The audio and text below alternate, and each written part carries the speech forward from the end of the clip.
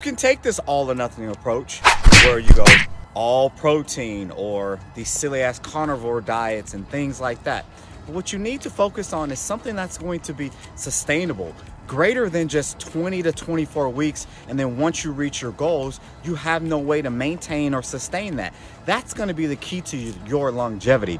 So find something that's going to be balanced, to set you up for success long term instead of these quick fix or all or nothing methods that are probably to set your ass up for failure, which is why you're starting another diet to begin with.